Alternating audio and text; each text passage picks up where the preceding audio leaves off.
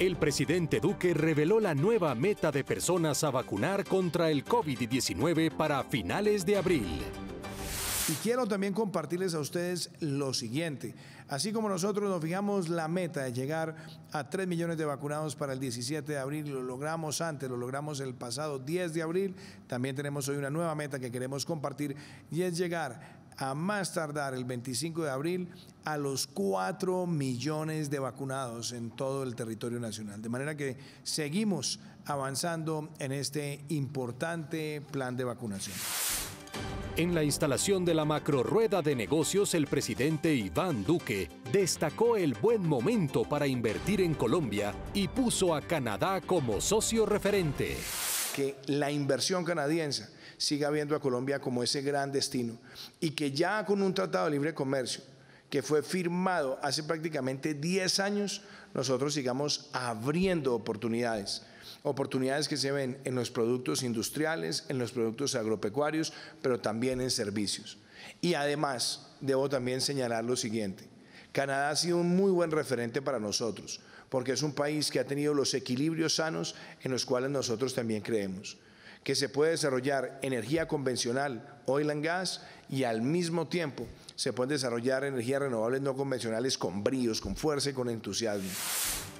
Cancilleres de Colombia y Panamá analizaron asuntos migratorios y atención en frontera de pandemia del COVID-19.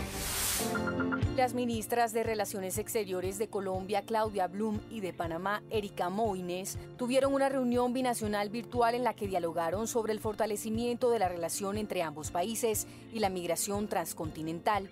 Particularmente analizaron los retos planteados por la migración transcontinental de ciudadanos que se están desplazando por la región desde Sudamérica hacia Norteamérica.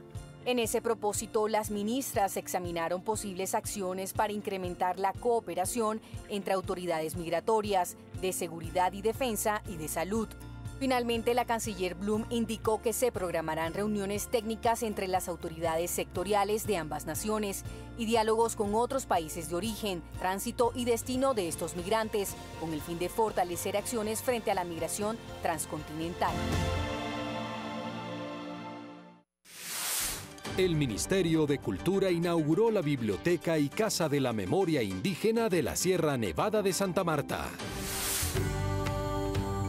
El Ministerio de Cultura inauguró la Biblioteca y Casa de Memoria Indígena de la Sierra Nevada de Santa Marta. La biblioteca ofrecerá talleres de lectura, escritura, seminarios y de formación en diferentes campos. La colección bibliográfica reúne más de 2.500 títulos, entre ellos libros especializados en temas indígenas y libros digitales para diversos públicos. Esta infraestructura beneficia de manera directa a 1.500 personas en el resguardo de Simuronova, pero también, por supuesto, a más de 5.000 personas en las áreas circundantes que se encuentran en nuestro entorno. Además, a través de los programas de extensión bibliotecaria, se busca que la biblioteca visite escuelas y territorios que son lejanos, a más de dos días de camino, para realizar actividades de lectura y de tradición oral. Todo esto es producto del trabajo en equipo Aquí el Ministerio de Cultura puso recursos importantes, particularmente a través de la Biblioteca Nacional y su red de bibliotecas, pero la comunidad también puso terrenos, puso recursos, puso su mano de obra, puso su ingenio, puso los diseños. De esta manera, la Red Nacional de Bibliotecas Públicas completa 1.548 bibliotecas distribuidas en los 32 departamentos del país, consolidándose como la infraestructura cultural más grande de Colombia.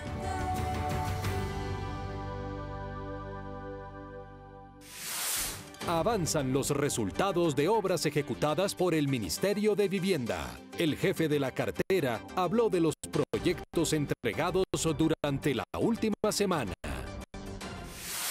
La primera de ellos, en el municipio de Codazzi, en el departamento del Cesar, culminamos 200 viviendas gratuitas. Hace unos días estuvimos en visita de obra, supervisión de obra, terminamos la obra de nuestras 200 viviendas gratuitas en Codazzi.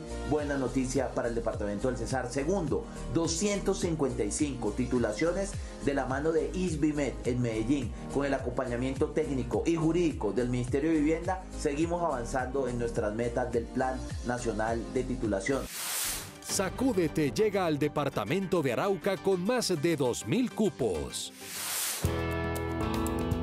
Los siete municipios del departamento de Arauca contarán con la estrategia del gobierno nacional Sacúdete, que convierte a los jóvenes en protagonistas del desarrollo del país, en esta oportunidad con 2.160 cupos disponibles.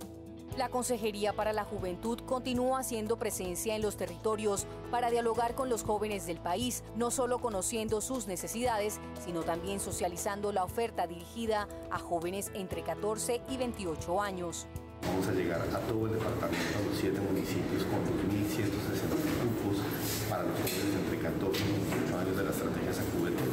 Adicionalmente tendremos centros Sacúdete en seis de los siete municipios del departamento empleabilidad, educación, apoyo a los emprendimientos rurales, conectividad y reclutamiento hicieron parte de los temas planteados por los jóvenes en esta jornada.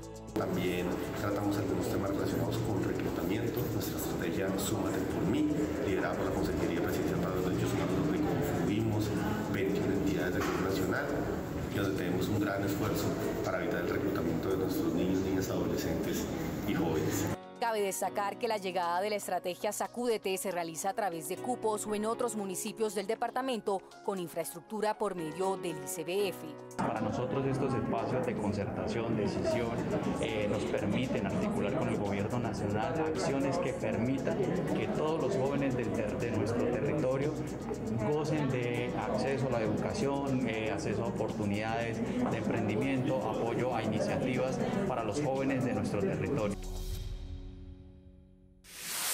Hasta mañana estará abierta la convocatoria Programación para Niños y Niñas que busca formar a docentes en pensamiento computacional.